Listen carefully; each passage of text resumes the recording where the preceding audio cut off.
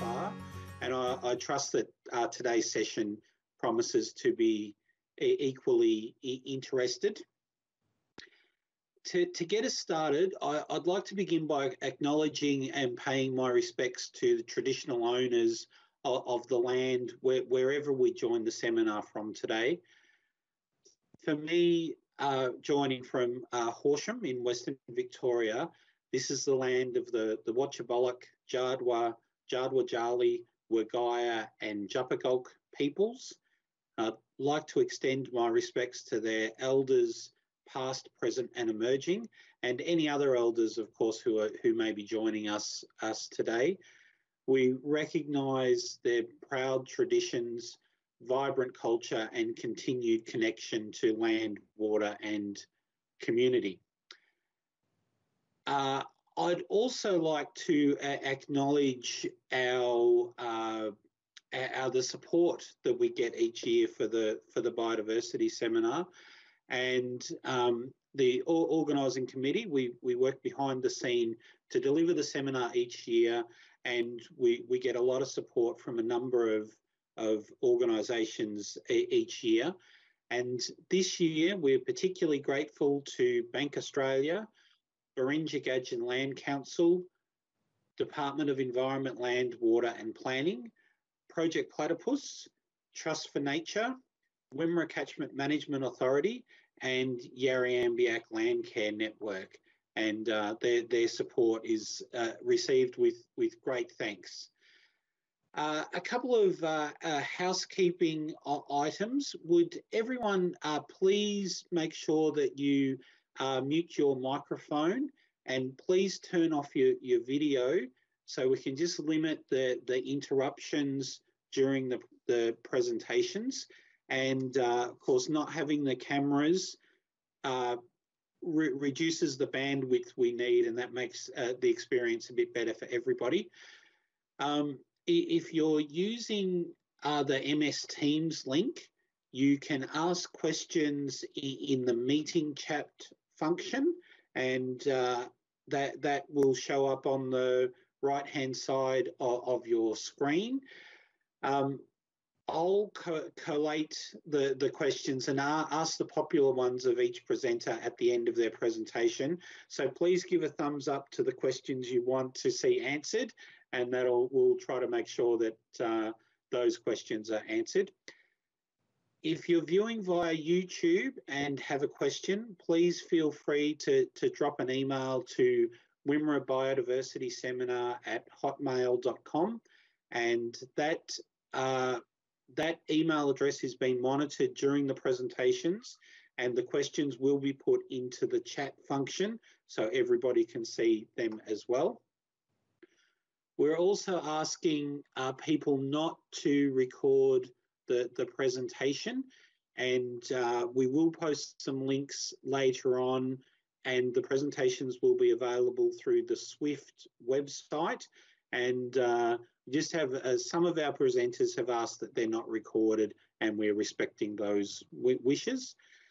And if you have any trouble with the MS Teams uh, program, please contact us via uh, social media, media messaging or email Wimmera Biodiversity Seminar at hotmail.com.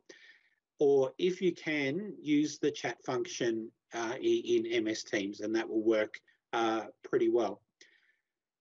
I also have to mention um, the uh, the mugs for this year's seminar and the, the first 75 registrations are receiving mugs and uh, I can confirm that the, the mugs are now available and the, the lucky recipients will be receiving uh, pickup or delivery information in, in the coming days. And um, uh, hopefully you're lucky and you will uh, enjoy receiving one of those mugs. And at the end of each session, we will be uh, providing a link to a, a, short online survey. And we would ask that everybody completes this as soon as possible because it helps us plan for next year's uh, event. And I might talk a little bit later about next year's event uh, as well. So uh, to get onto the are the important things of, of today. Our theme uh, for this year, is, as I think everybody will know, is uh, from little things, and we, we've been exploring uh, that that theme over the last uh, five sessions, including today. And today's session is focused on orchids and fungi. So to get things started, I'd like to introduce uh, Dr. Noushka Reiter, who manages the Royal Botanic Gardens Orchid Conservation Program. And this is a really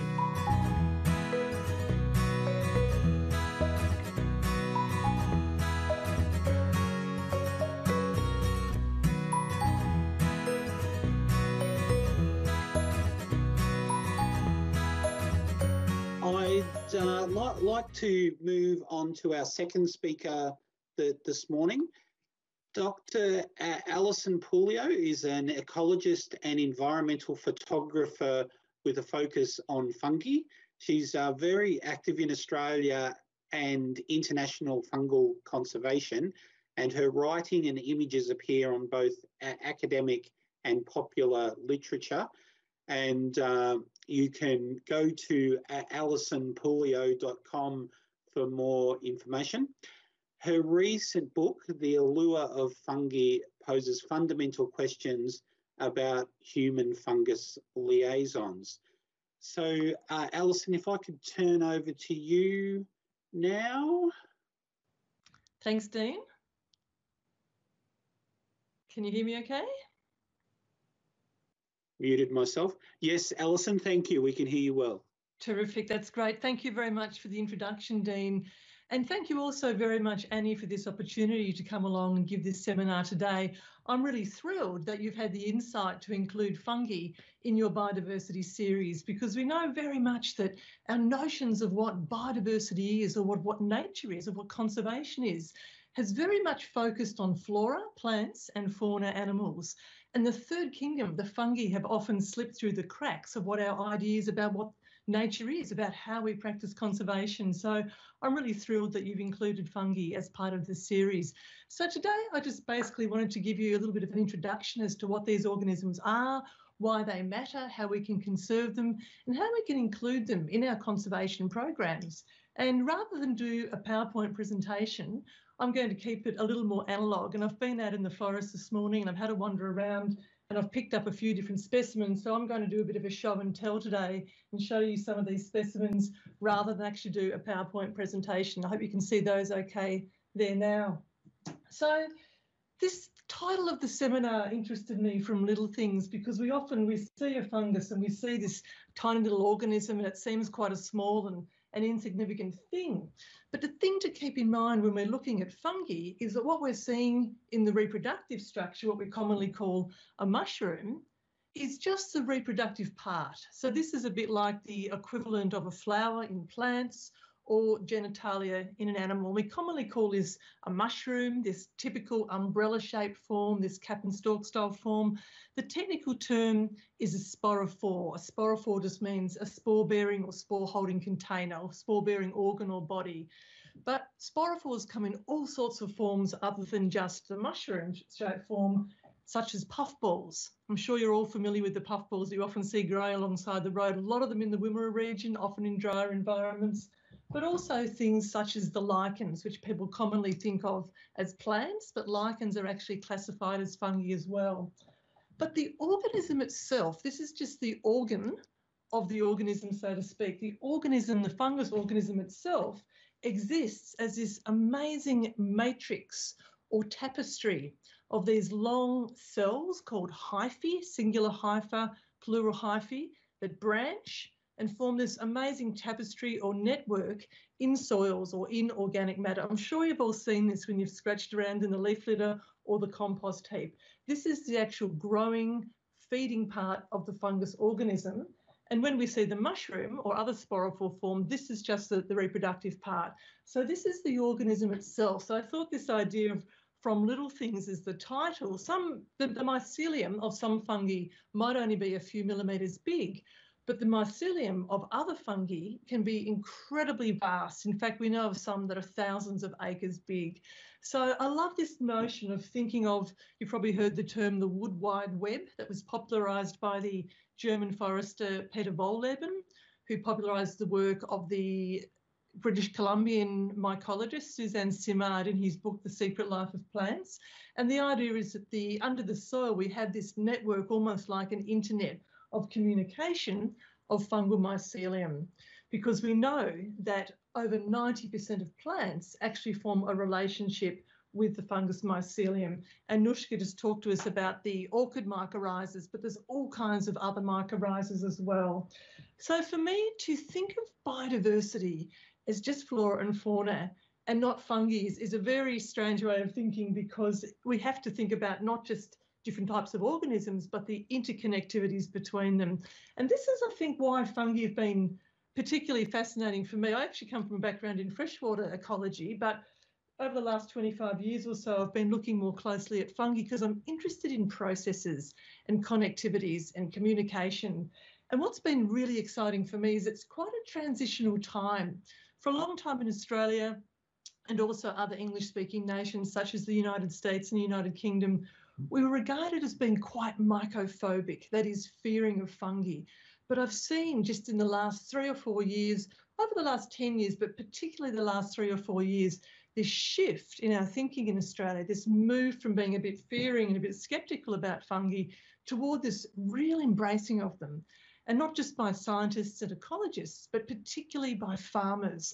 And to me, this is very exciting given that most of the land in this country is privately owned and, in farming. So I'm very excited to see farmers saying, how can we get fungi back on the land? How can we encourage fungi back into our agro ecosystems? Because what fungi do is predominantly they recycle. We think of plants as producers, we think about animals as consumers, but the fungi are the great recyclers. So when a leaf or a stick falls to the forest floor, there'll be three different groups of organisms that will act upon that to recycle that, turn it back into soil again. We call this process pedogenesis, this transformation from organic matter back into soil. We have bacteria, we have invertebrates, that is all those little spineless creatures, and we have fungi. And the invertebrates do it mechanically by biting into the organic matter with their mandibles or their mouth parts and mechanically breaking it down into many pieces. But the fungi do it chemically by the secretion of enzymes. So this mycelium here in this piece of bark, it's actually feeding on it by secreting enzymes that can break down things like the lignin and cellulose that give this wood its hardness. And while those invertebrates can break it down physically into little pieces, only fungi can break down chitin through these enzymes, through these chemical digestive enzymes, breaking that down.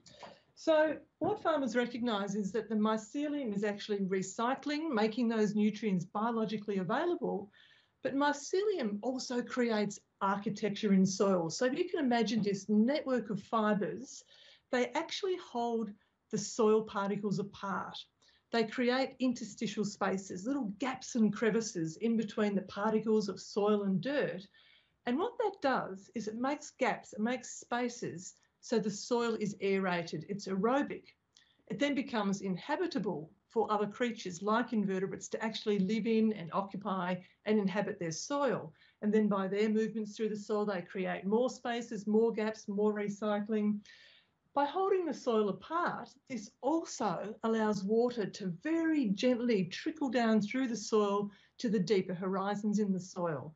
So unlike soil that doesn't have air spaces, it becomes compacted and depending whether it's colloidal, how much clay or how much sand is in it, when it rains, the water either just runs off or it becomes waterlogged. But by having that fungal mycelium in the soil, you get, get this lovely trickling of water through the soil. So the mycelium creates air spaces, creates structure, allows water to filtrate very gently, but also through these mycorrhizal relationships, like the ones Noushka mentioned, myco meaning fungus, rhiza meaning root, what actually happens is that the fungus, the mycelium, is much, much finer than even the finest root of a plant.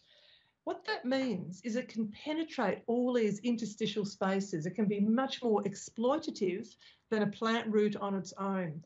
The fungus forms a sheath around the plant's root or actually enters the cortical cells of the root and effectively extends out the plant's root system. And we know that for some plants, they can inc- increase the absorbable area of the plant root system by over a thousand times, which is just astonishing. Think about how much more water that plant can now obtain because of that increased absorbable surface area. And the fungus can find its way into all those little cracks and crevices, return water to the plant, but also selectively uptake nutrients that the plants need. So many of our crop species receive NPK, nitrates, phosphates, and potassium. But plants often need more than just nitrates, phosphates, and potassium. Perhaps they need zinc or boron or selenium. And that's what fungi can do. They can actually return many more types of nutrients and minerals to the plant than the plant can access on their own. So for all this work that the fungus does, attracting more water, bringing water back to the plant, bringing more nutrients back to the plant, in return, the plant gives the fungus a lovely feed of sugars that it produces through photosynthesis. And we call this a mutually beneficial mycorrhizal symbiosis. So it's a two-way mutually beneficial relationship. And we know that most plants, over 300,000 species of plants worldwide, form these relationships with over 50,000 species of fungi.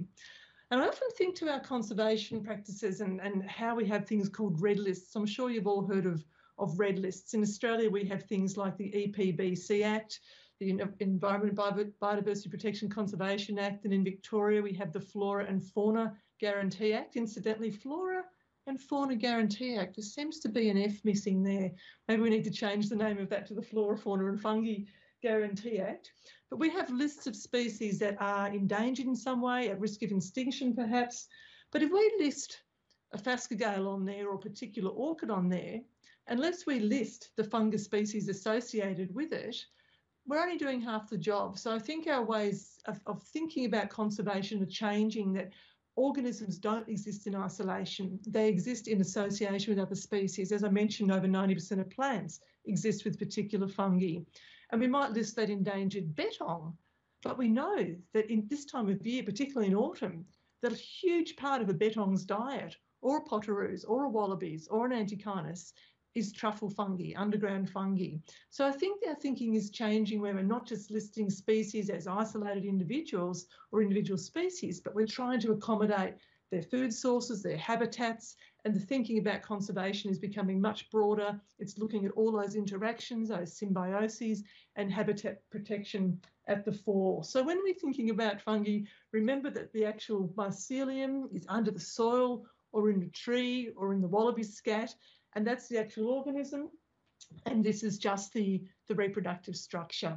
So this kind of mushroom, we're all pretty familiar with. It has these lovely lamellae on the underside, or they're sometimes called gills. I'm not quite sure why they're called gills. Perhaps the first uh, scientists who tried to to look at fungi thought it was a fish rather than fungus and called them gills. But anyway, lamellae, gills, whatever you call them. This is the most, I guess, familiar fungus that has the radiating lamellae on the underside. But other fungi have other strategies for dispersing their spores. And you can see this one here actually has pores on the underside. That's P-O-R-E-S, not P-A-W-S. If you've got P-A-W-S on the end of your, on the underside of your mushroom, you probably picked up the dog, not a fungus. So some fungi have pores, and each pore is the opening of a little tube, and inside the tube are the spores. This particular one is called Suillus luteus. You can see this very glutinous, gloopy surface, which is characteristic of this genus. This actually is an edible fungus. And you can see here, this one grows in these mycorrhizal associations with the genus Pinus, pine trees. But not all fungi have this cap and stalk style arrangement. Here's one more little cluster, actually, that was growing on a old birch, I think it was. This one's called Flammulina velutipes, another edible species. But other fungi, as I mentioned, manifest, for example, as puffballs. And this is essentially just a ball full of spores. This is a numbers game. So when this is ripe and the spores are ripe, it essentially just cracks open and the spores are blown away. If I do a cross section of this one, you can see inside this astonishing patterning of the locules where the spores are. Just stunningly beautiful things. I think it's actually the aesthetics of fungi that first drew me toward them. And then that took me to the science of fungi. You can see here I've got another little puffball. This one's called Lycoperdon, and you can see here in its mature stage, it forms this little opening where the spores puff out from. And this needs a drop of rain to actually land on the ball, and the pressure of that raindrop or that insect puffs out the spores. You can probably see this now. I've just completely filled my room and my computer with spores. Then we have other fungi that don't form anything as dramatic as a puffball or an umbrella-shaped mushroom. And you can see this stunning thing here that just forms like a, a sheath or a paint-like structure on the underside of this wood. And again, remember that the mycelium itself is actually inside this piece of wood. This is just the reproductive structure, and the whole surface here is actually fertile. There's tiny little holes that the spores are released from. You might also have seen some fungi growing like a, a, a, sheath or a shelf, I should say, out of the side of trees. These are known as bracket fungi or polypores, meaning many pores. This particular one, which was called Pycnoporus coccineus till quite recently, it's just become Trametes, the genus has changed. This is a particularly interesting one because it's one of the few species that we know was used by Aboriginal people, particularly the Wiradjuri, who knew about its antibiotic compounds, and they used this to cure ulcers in the mouth or cuts or sores in the mouth. And they gave it to young babies or children as a teething ring to protect those young mouth and gums as the teeth were pushing through. And some of you might even have seen something like this on the forest floor, which looks a bit like an old piece of polystyrene. What this one is, is the remains of a bracket fungus known as a punk, Laetiporus portentosus, or the white punk, which again grows like a bracket or a, a, a, semicircle arc coming out of the side of the tree. And this one with the recent rains, it's actually filled up like a sponge and the weight of it's ripped it off the tree. And this is another interesting one as well, because it was also used by Aboriginal people as a source of kindling, to light fires, also to carry fire, to translocate fire from one place to another. And it was also used as a source of light. So we were to ignite this, it burns very, very slowly, gives off this glow, and is a fantastic source of light. So while we only have very scant understanding of Aboriginal use of fungi because most of that wasn't actually recorded in a written format, it was oral, is, is oral, I should say. We do know of a few local species that have Aboriginal significance. And then, of course, these amazing things, the lichens, are probably one of the best known groups of fungi in Australia. And every lichen is a symbiosis between a fungus and an alga or multiple algae and other organisms as well, such as yeasts. And you can see here the little reproductive structures of the lichen. We've got other types of lichens like this one here, this beautiful coral lichen, which you'll find throughout the Wimmera. This is one of the drier inland species. And lichens were one of the, the first, our first understanding of the nature of symbiosis goes back to the German scientist Anton de Bary, also Simon Schwendener, who recognised that fungi weren't plants, that they were actually were symbiotic. There are multiple organisms living together and both benefiting from this dual arrangement. And what's interesting, when I studied botany and zoology, there was no mycology back in the Pleistocene. I uh, learned that there was this particular strategy called symbiosis, that some animals and plants exploit this idea of living together and, and doubling up on your talents. But I thought this, this isn't a secondary strategy. It's very hard to think of anything that isn't symbiotic. There's very few organisms, if any, that can live in isolation. We know that we're symbiotic with all kinds of gut bacteria and, and other creatures. And I, pre- I think pretty much if you took any organism, you'd recognize it lives in association with something else. So we know now that symbioses aren't a secondary, secondary strategy they are the norm. And I think that's why it's so important in the way that we approach conservation or land rehabilitation that we think about these connectivities. And Noushka told us that the success of her program hinges very much on thinking about the pollinators and the mycorrhizal fungi, and that those orchids rely 100% on having both the mycorrhizal fungi and the pollinator. So for me, this is very exciting, and I think it's these connectivities, these associations that make fungi particularly fascinating. Some of the others, this is another little bracket fungus that you might have seen around, stunningly beautiful thing. known as the rainbow fungus. It's not hard to see where it gets its name. Or Trametes versicolor, versicolor meaning many different uh, colours. And this one's also, again, known for its antibiotic properties. It's very commonly used in traditional Tibetan and Chinese medicine. In fact, it's grown worldwide for that reason, particularly. You can see the porous undersurface here, always growing on wood. And particular fungi also grow in particular, not just habitats, but particular substrate types.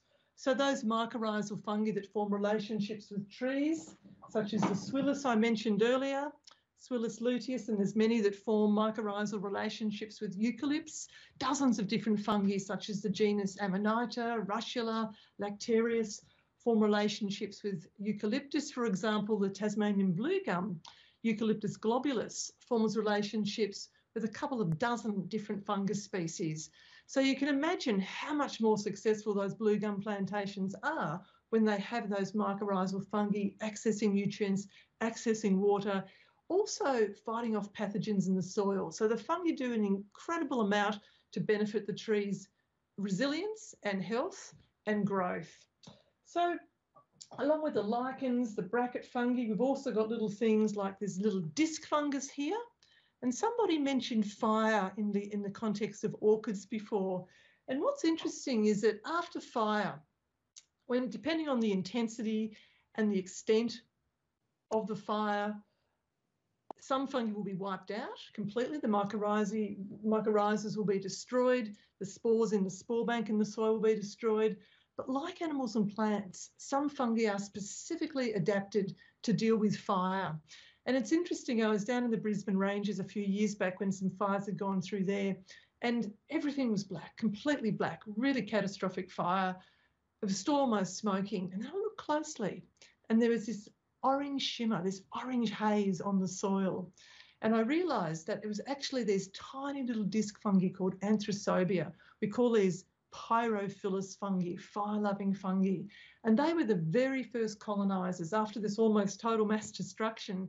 It was the fungi. And I love to think of them almost a bit like the SES after there's been some kind of the state emergency service, some kind of upheaval or disruption or disaster. The fungi are moving in. They're there putting that structure back in the soil, putting that mycorrhizal network back in the soil, soil, creating stability. And then if a bird flies over and excretes a seed, when that seed lands, there's a little bit more structure in the soil, there's a, a little bit more recycling going on. The fungi are making that soil inhabitable again for a seed to germinate. So fungi are often some of the very first colonizers after fire, not just fire. Also, if you see road works that have been done or logging, again, the fungi are there trying to put that structure, not I'm saying trying, I don't mean they're literally consciously trying to do that, but that's what they do. Bare soil very rarely exists in nature.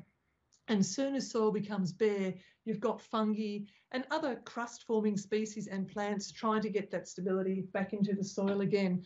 So fungi are doing a lot. They're putting structure in soils, they're forming connections with plants, they're increasing the resilience and health of plants, they're filtering water, they're also providing food for Homo sapiens. So I've, also noticed that foraging is on the increase in Australia. We don't tend to have that um, history that you see in European countries of foraging, but that's just starting to change here in Australia, although we do have to be pretty careful because we do have some deadly toxic species as well.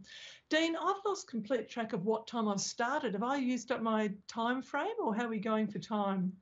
Uh, so, uh, Alison, we, we're pretty close to time, but uh, okay. there's a few comments in the chat about how engaging and interesting you are. Oh, thank so, you.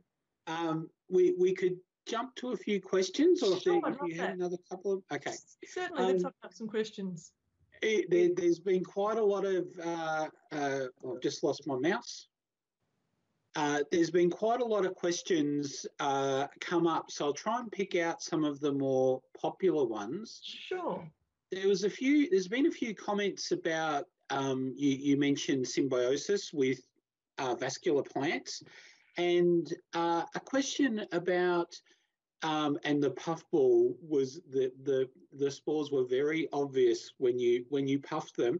Um, could you comment on any sort of advantage for revegetation or land management projects for actually physically spreading the the spores or the uh, the, the mushroom structures in, in new areas? Certainly. So oftentimes I get asked, shall we cut up the mushroom and sprinkle it around and, and help it distribute? Certainly we can do that, although fungi have been around since the Devonian. I think they're, they're pretty good at doing it without it. So the best thing we can do for fungi is one, is to maximise the diversity of the habitats. So when you're revegetating, don't chip all the organic matter. Don't chip it all into one centimetre square pieces. Some fungi are happy to live on a one centimetre square wood chip, but others want to live on an old log. Some want to live in a piece of bark. Some want to live on a small stick. Some fungi, like this one here, has chosen this gum leaf to live on. So the more diversity in size of the organic matter, species, and age. So if you can get diversity in age, size, and, and species, you'll then provide the habitats for a greater diversity of fungi. In the same way that we all don't want to live in apartments, some of us want to live in beach houses or or tents, fungi like different substrate types and habitats as well. So when you're vegetating, don't chip everything. Try and keep a diversity of different organic matter. And the second thing to do is try and minimise the stresses, the things that fungi don't like. So fungi don't like too much disturbance. If you shove a, a spade through the mycelium, it's gossamer thin. You actually break it, you destroy the organism. If you damage too much of it, you'll kill it. So try to think about minimizing the level of disturbance. They also don't like compaction. If you crush mycelium, you'll kill the organism. So try and minimize the amount of heavy machinery and equipment and driving over the area that you're rehabilitating. Also try and minimize the amount of fire, the amount of chemicals, and any overwatering or over irrigation, all those things will wipe out some of the fungi that are less resilient to those things. So rather than trying to actively just spread the puffballs around, they'll they'll come if you provide the habitat, the diversity of habitats, and minimise the stresses. The fungi will come. You don't need to go around throwing the fungi around. They'll be there. Spores are ubiquitous. There's spores everywhere now, including all over me in my room. There's probably fungi spores all over my hand. I haven't got a deep enough leaf litter layer for those to actually form a mycelium. But if you actually provide those habitat types, reduce the stresses, you'll get the fungi along. Okay. Uh, th thank you, Alison. Um, a few people, you, I think you mentioned uh, pathogenic fungus. Uh, a couple of people are interested in the I- interactions between things like honey fungus and uh, cinnamon fungus, Phytophthora. Sure. it's widespread in the in the Grampians, and Okay. how they interact with the, the good fungus. Sure. So the way I look at it, the, the binary of good fungus, bad fungus is, is rather sort of a, a simple one. And I think often we confuse cause and effects. So, and, and for a start, I'll just say that Phytophthora actually isn't a fungus. Technically, it's a fungus-like organism. And I like to, to split hyphae here because anything that we think of as bad or destructive gets thrown in this basket called bad fungi.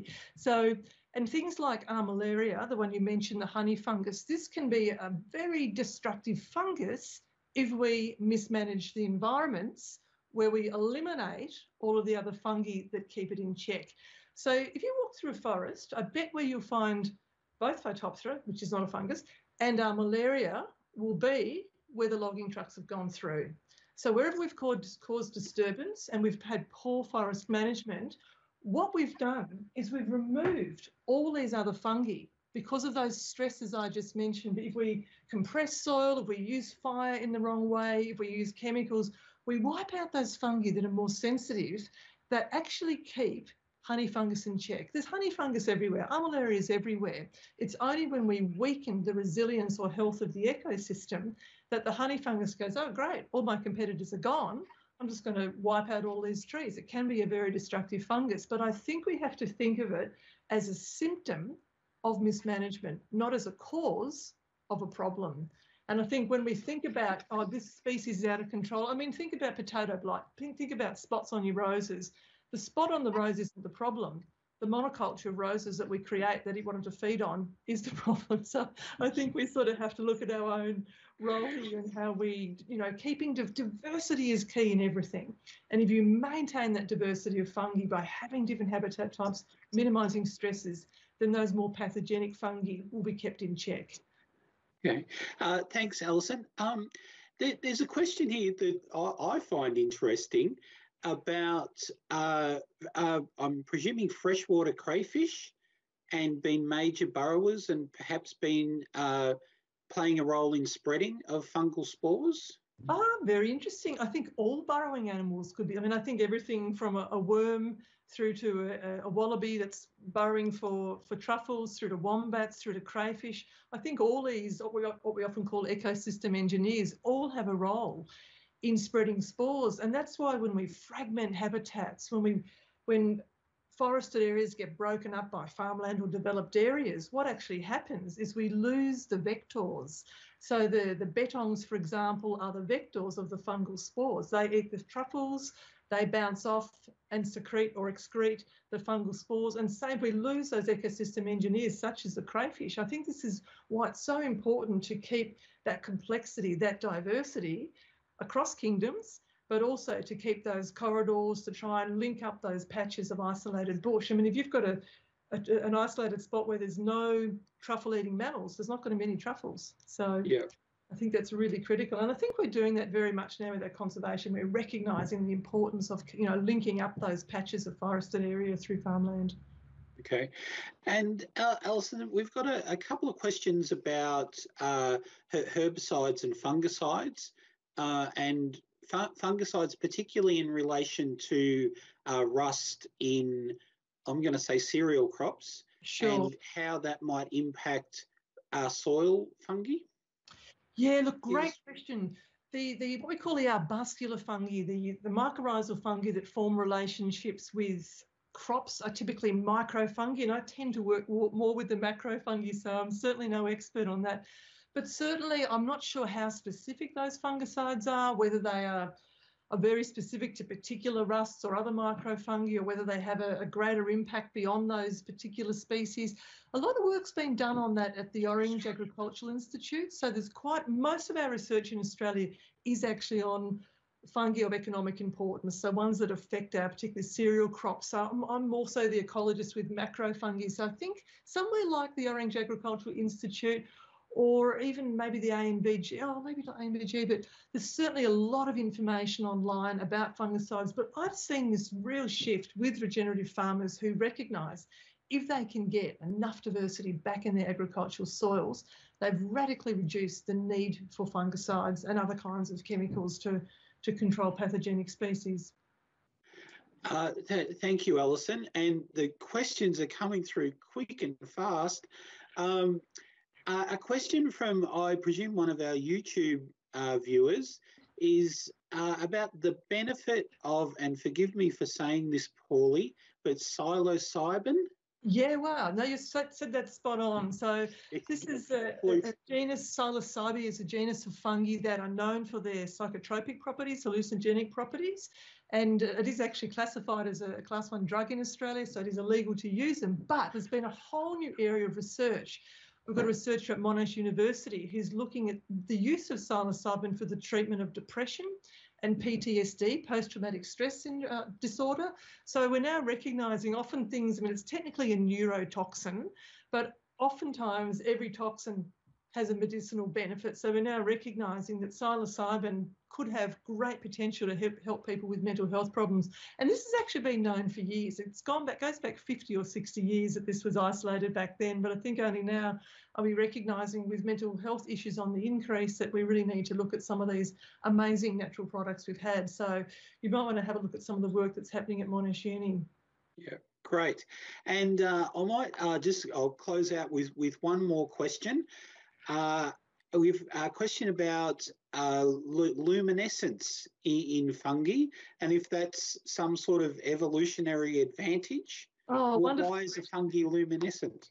Look, I think that it's really to help the wombats to find their way through the forest at night. Um, so, one fungus we know of called Omphalotus nidiformis, or the ghost fungus, very, very common in temperate Australia. You'll find it growing on the bases of eucalypt stumps, also pine stumps.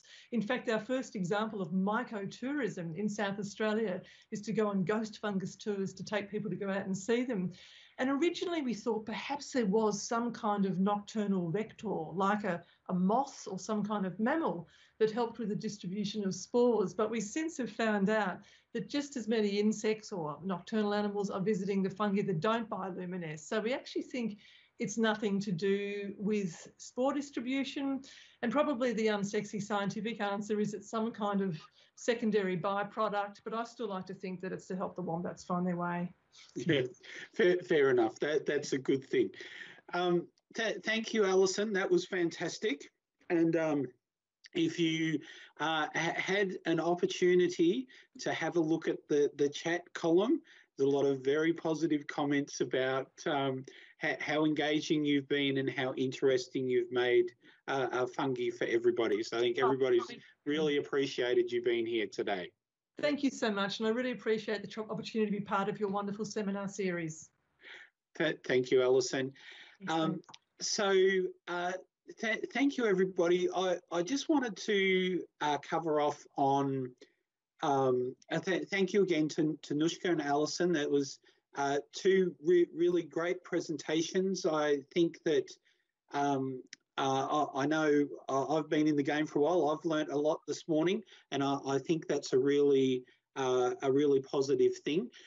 I'm uh, sorry we didn't quite get to all the questions that were uh, posted for, for both presentations, but um, uh, ho hopefully all our attendees are inspired to go and uh, search out a bit more information on themselves and of course, Google's a wonderful resource for, for that, uh, for, from that point of view.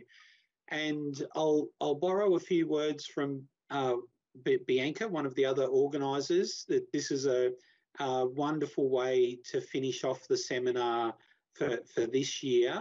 And uh, yeah, fa fabulous presentations that we've had uh, today.